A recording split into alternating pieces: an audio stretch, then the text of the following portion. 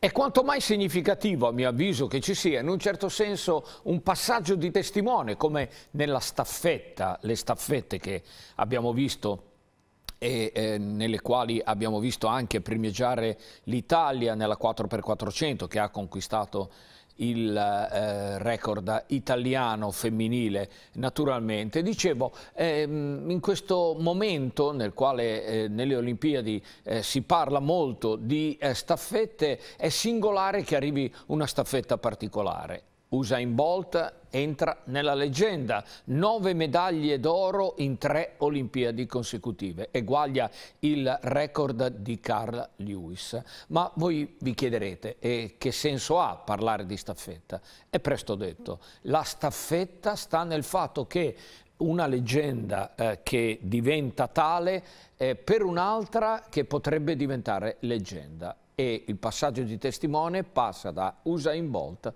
alla Juventus.